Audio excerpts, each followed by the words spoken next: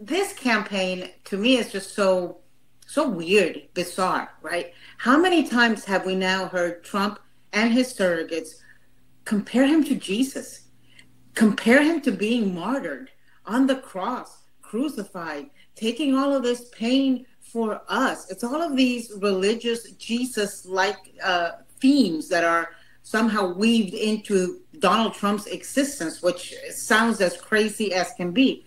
It's crazy for him to say that Democrats are against the religion at a time when we are led by Joe Biden, who, in my lifetime, is the most religious president I can recall. He's not a Christian conservative, he's an Irish Catholic, church going, practicing Catholic.